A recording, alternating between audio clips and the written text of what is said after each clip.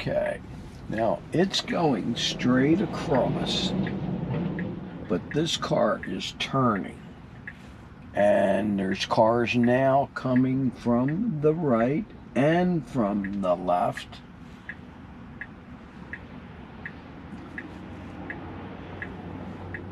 Cars coming from both directions it cannot go.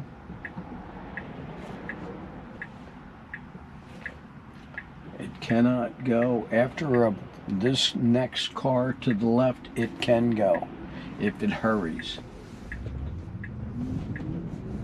And it didn't go where it was supposed to go.